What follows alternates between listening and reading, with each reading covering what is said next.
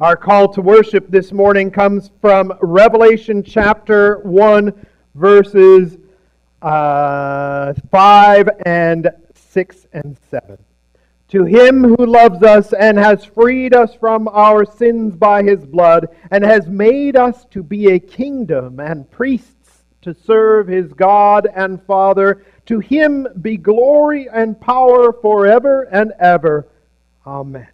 Look, he is coming with the clouds, and every eye will see him, even those who pierced him, and all peoples on earth will mourn because of him. So shall it be.